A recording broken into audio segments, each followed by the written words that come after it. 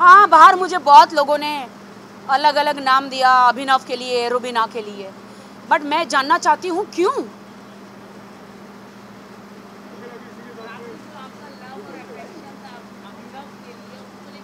मेरा love affection अभिनव के लिए ज़ीरो भी नहीं था।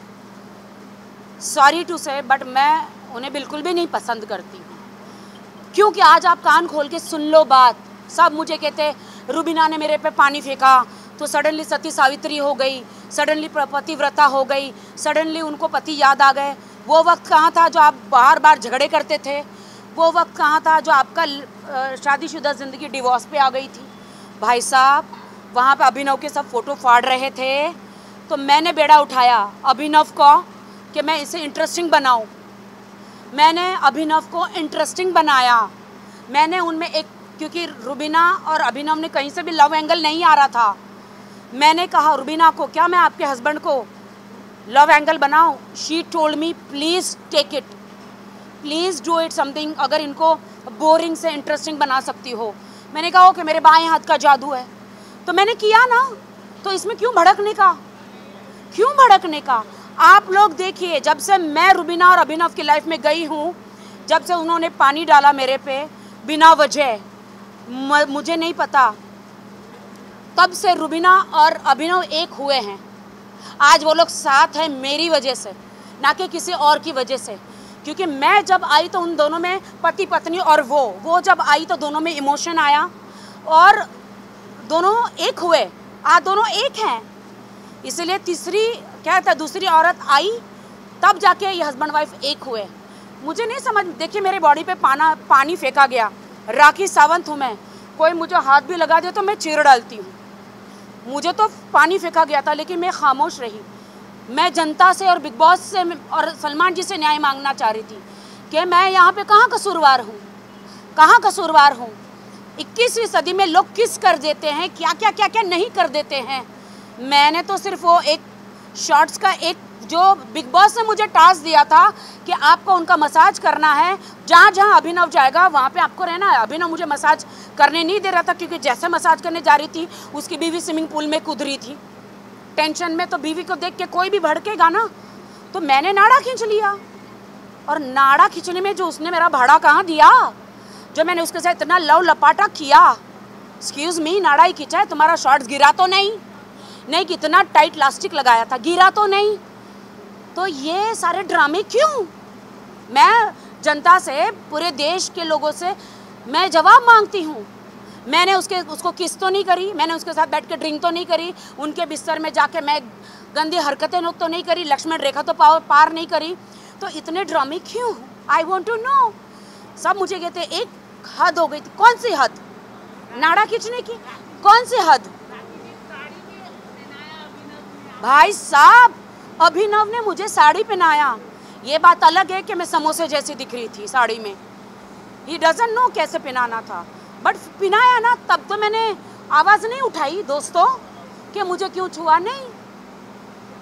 अननेसेसरी मुझे लगता है कि रुबीना दिलेक ने मेरा उस टाइम पे मेरी हाइप का और सडनली उनमें एक पति पतिव्रता वो जागी और सडनली मेरे पे पानी डाला। फॉर व्हाट मैंने तो रुबीना को कुछ नहीं कहा था। मैं मेरी बातें तो अभिनव के साथ हो रही थी। उसके उसको इजाज़त थी वो मुझे चार पाँच अब्यूज़ करता जो उन्होंने किया। मैंने तो एक ही शब्द किया था बोला था टर्की सलमान जी ने भी उनको बोला टर्की शब्द it's not abuse language it's I teasing ऐसे वाला। एक्सक्यूज मी यहाँ पे तो कितने कॉलेज स्टूडेंट सब लोग ऐसे ऐसे ऐसे करते हैं। उनके वीडियो वायरल होते हैं। क्या? हाँ। तो मैंने आँख तो नहीं मारी मैंने सिर्फ़ ठरकी बोला कितने लोग ठरकी हैं यहाँ नहीं है क्या तुम लोग लड़की को नहीं छेड़ते हो फिर हाँ तू छेड़ता है क्या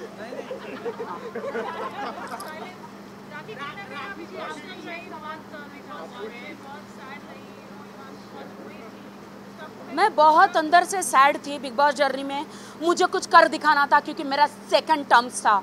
मुझे लाइफ में फिर से एक मुर्दा राखी को ज़िंदा राखी दिखाना था और मुझे कुछ करना था। लेकिन दिल में माँ का, माँ की बीमारी, दर्द था एक तरफ़ मेरे हस्बैंड का।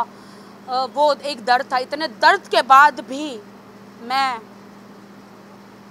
जनता के point of view Salman ji और बिग बॉस के पॉइंट ऑफ़ व्यू मैं as a entertainment as a entertainer खरी उतरी। मुझे नहीं पता था मैं अंदर क्या कर रही हूँ। आई डिन नो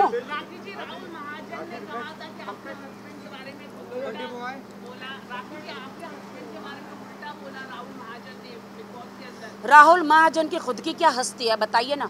राहुल महाजन के साथ उनका महाजन अगर सरनेम निकाल दिया जाए तो हिज अ ज़ीरो हाँ मैं उनके महाजन सरनेम की रिस्पेक्ट करती हूँ।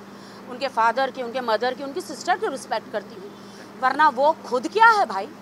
वो कौन होता है मुझ पर इल्ज़ाम लगाने वाला? और आज बर्थडे बॉय आइए।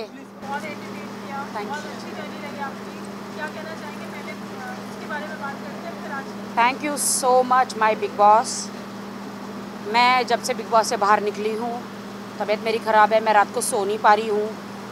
नोएल्स करने के बाद भी बर्तन धो रही हूँ कपड़े धो रही हूँ झाड़ू लगा रही हूँ पोछे लगा रही हूँ।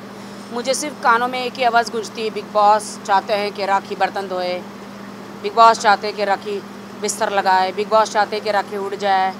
क्योंकि जो ढाई महीने का, ढाई तीन महीने का जो मेरा अंदर का जो सफ़र है, मुझे सिर्फ़ बिग बॉस की आवाज़ पे ही मैं हर चीज़ यू नो उड़ जाती हूँ, काम करती हूँ, घर का काम कर रही हूँ मैं।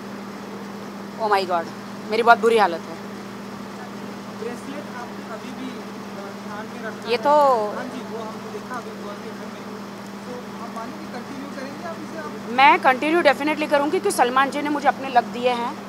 उन्होंने खुद अपने हाथ से पहनाया है। तो ब्रेसलेट तो मैं कभी छोड़ती नहीं हूँ। इसको थोड़ा छोटा कराना पड़ेगा। वैसे हाथ से निकल जाता है। But it's my lucky bracelet Salman ji के हाथ से पहना हुआ, उनका और मेरा सेम किसी भी कंटेस्टेंट को ये कलर नहीं मिला। जो उनका कलर है, वो ही मुझे मिला। I am so lucky Salman ji like industry के मेरे गॉड ब्रदर है और उन्होंने मेरा बहुत साथ दिया। धन्यवाद मेरा, मेरी माँ का। और थैंक यू सो मच कि मुझे चौदह लाख उठाने दिए। वो उसके कारण मैं अपने माँ का इलाज करा पा रही हूँ। उस लोगों को नहीं समझ में आया कि राखी तुम तो जीतने वाली थी। वो चौदह लाख, जब मॉम आपकी कैंसर पीड़ित है हॉस्पिटल में है तो वो कहते हैं ना डूबने डूबने वाले को तिनके का भी सहारा होता है। मैंने कहा था पहले भी कि मेरा अकाउंट एकदम ज़ीरो बैलेंस हो गया है। क्योंकि जब मैं यहाँ से गई थी तो अ, अपने हस्बैंड को और अपने ब्रदर को मैं उसके अ, जो बैंक के डिटेल्स देकर गई थी कि मम्मी को कभी कुछ भी हो जाए तो एडमिट करना। तो टोटली ज़ीरो बैलेंस हो गया था क्योंकि हॉस्पिटल में इतना पैसे लग गए थे जितने भी थे। कैंसर एक बहुत बड़ी बीमारी है लेकिन बहुत जल्द हम उससे लड़ेंगे। और कैंसर को मिटा देंगे। और तभी मेरा सब कुछ वॉश आउट हो गया। पैसा आज नहीं तो कल इंसान कमा ही लेता है। माँ बाप होना बहुत ज़रूरी है। भाई बहन हमारी फैमिली होना ज़रूरी है। पैसे पैसे कहते ना इतने इम्पोर्टेंट नहीं है, लेकिन पैसे बहुत इम्पोर्टेंट भी है एक जो चीज़ है आपकी बिग बॉस हाउस में जो आप हमेशा मिस करेंगी whenever you- Bigg Boss house में जूली है, बाथरूम में सो रही है, उसे मैं बहुत मिस करूँगी।